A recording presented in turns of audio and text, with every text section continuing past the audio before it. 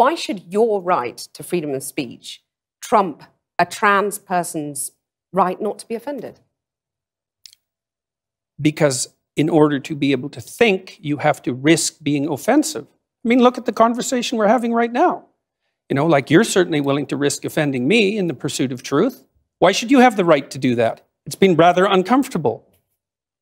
Uh, you've connected a lot with a lot of young men, lots of different people, but young men particularly seem to, you know, find something in your message. I'm a young man. I'd like to be improved, please. Yeah. I want to stop being a pathetic weasel. Yeah, that would be good. Clean up your room. I don't know how you can go out and protest the structure of the entire economic system if you can't keep your room organized. What are the limits of that idea, though? Because you can have a lovely clean room, Yeah. but if for my generation, you know, we're looking down the barrel of climate change, we can't afford a house, some people can't get work, university education's unaffordable. Like there are these huge, massive problems in society and the political economy that are also going to, you know, screw us over in the big picture that the clean room isn't going to necessarily fix. If you're going to fix complicated problems, you have to learn how to s- fix simple problems first. I want to know what is your answer uh, to young people for some of the really big uh, f- uh, problems facing humanity, like the you know climate catastrophe, like economic crisis, like the precarious job market. Because they just don't like you talk all this much about uh, individual responsibility. Most of us are never going to be able to afford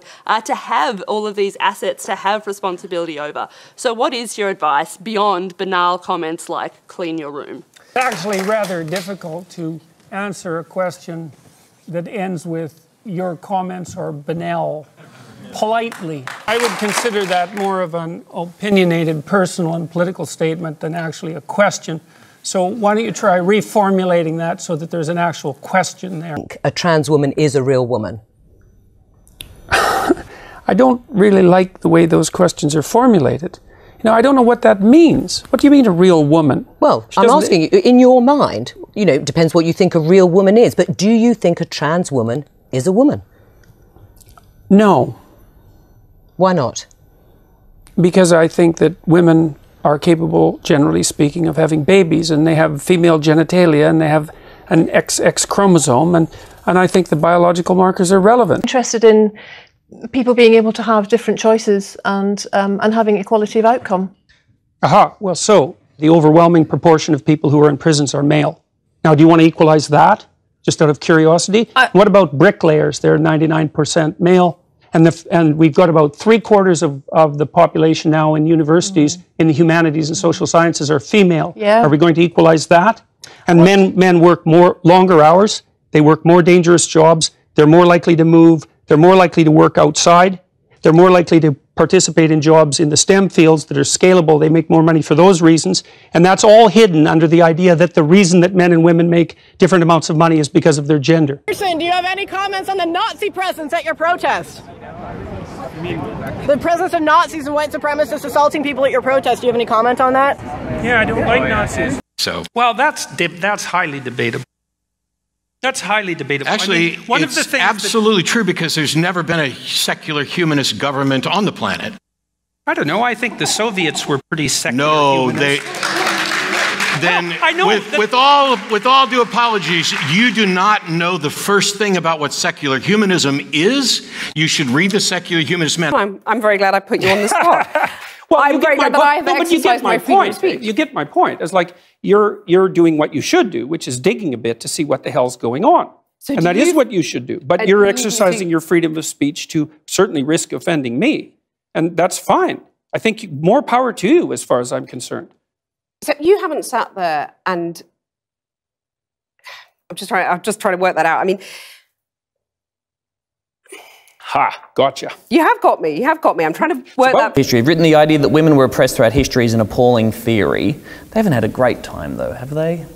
Who has had a great time in history? But men have had less of a Really? Have time. they? Have A they? By the what time. standard? By what standard? Well, I'm just saying, if you're a woman, How about it war? Took yeah, but it took longer for women to get the vote, and women belong to their husbands. And in this country, one woman dies every week from domestic violence. A man dies like once a month, I believe, from that same cause. Like, aren't there some clearly obvious things that that uh, women are There, there, victim of there are as a result of their inequalities- gender? There are inequalities in the catastrophes that the genders are subject to. And so, look, first of all, we, there's some things we got to get straight. History is a rough business. Everybody had it rough. In 1895, the typical Westerner lived on less than a dollar a day, which is absolute poverty by today's standards, right? And so we, people were brutally poor for the, almost the entire course of human history. It was rough. You say, well, did men or women have it worse? It's like, well, you know, that's a complicated question. But you, one of the things you can say is everybody had it pretty damn bad. Marxists say, well, that wasn't real Marxism. What it really means, and I've thought about this for a long time, it's the most arrogant possible statement anyone could ever make. It means if I would have been in Stalin's position, I would have ushered in the damn utopia instead, instead of the genocidal massacres because I understand the doctrine of Marxism and everything about me is good. It's like, well, think again, sunshine. I'm not suggesting in the least, and have never suggested that there's no domain for social action. I'm suggesting that people who don't have their own houses in order should be very careful before they go about reorganizing the world, which happens in many ways. I see a backlash against masculinity and, and a sense that there's something that there's something toxic about but what, what is this idea of being such. over what, why is society overly feminized? Well i didn't ever say that society was overly feminized. So if we're going to discuss my views we should use my actual words. Women got full legal rights. They have the right to determine what language i use especially when it's backed by punitive legislation. And when the words that are being required are the constructions, there are artificial constructions of people I regard as radical ideologues whose viewpoint I do not share.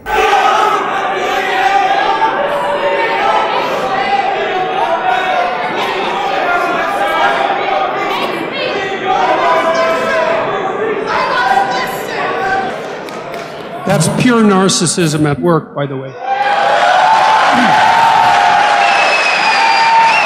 A question uh, for Professor Peterson. Um, why do you feel that someone's personal gender identity and pronouns infringes your free speech?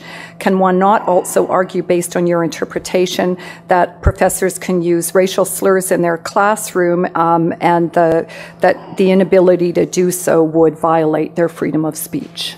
There's a difference between saying that there's something you can't say and saying that there are things that you have to say. And I regard these made up pronouns, all of them, as the neologisms of radical PC authoritarians. Do you understand that? And I don't, I'm not a fan of that sort of person. And the reason I'm not a fan of that sort of person is because I've done my homework. I've read everything I can get my hands on in the development of authoritarian political systems, and I know the literature inside out and backwards. And I am not going to be a mouthpiece for language that I detest. And that's that. The whole patriarchy thing. I think you have no idea how pernicious and dangerous it is. Well, no, you I don't. I really don't. Go. Throughout history, when